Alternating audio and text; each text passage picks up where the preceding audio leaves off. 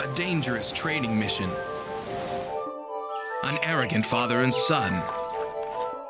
An ancient Chinese training ground. And a curse that changed their lives forever.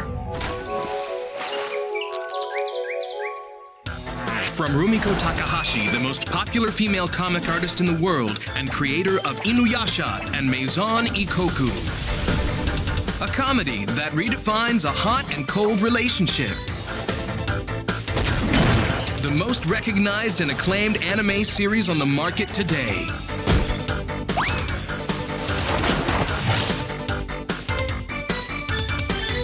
Wacky martial arts at its best.